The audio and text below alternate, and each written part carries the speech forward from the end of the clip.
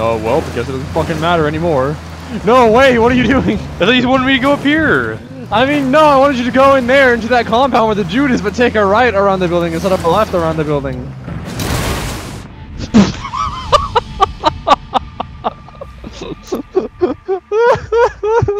Okay, so